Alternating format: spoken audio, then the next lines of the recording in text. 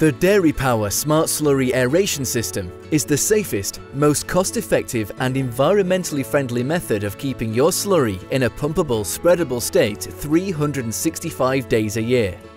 When it comes to lined lagoons, we can adapt to all shapes and sizes, including retrofitting.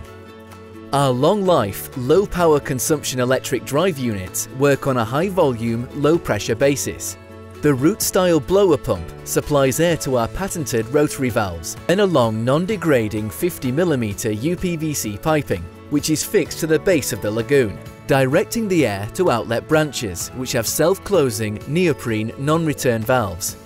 The rising air bubbles move and mix your slurry, distributing nutrients evenly, increasing ammonia and nitrogen values and eliminating the formation of crusts and the buildup of dangerous, odorous gases.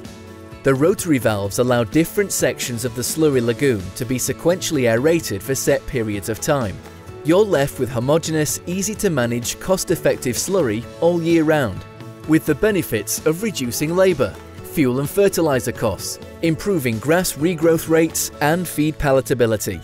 The Smart Slurry Aeration System puts you the farmer in full control. With over 3,000 smart slurry aeration systems installed worldwide, Dairypower is the market leader for slurry management. Get in touch